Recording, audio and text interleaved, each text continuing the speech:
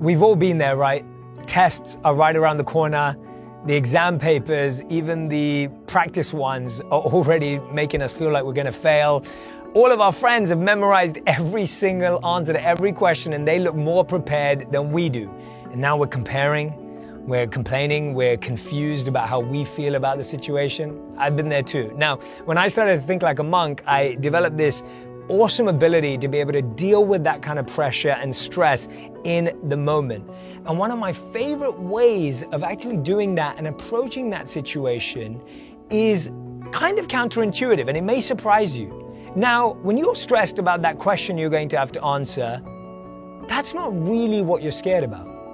And that's why it's so important to get closer to your fear. So, what I like to do when I think I'm scared of something is I ask myself, why am I scared of that?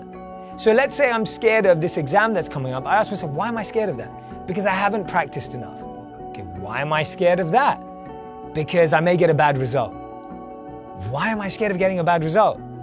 Because I'm scared of upsetting my parents. And why am I scared of upsetting my parents? Because I'm scared of upsetting my parents. When you get to that root fear, you can actually deal with your fear. Instead of dealing with this superficial level of fear right up here, you're actually dealing with what's deeply affecting you and blocking you.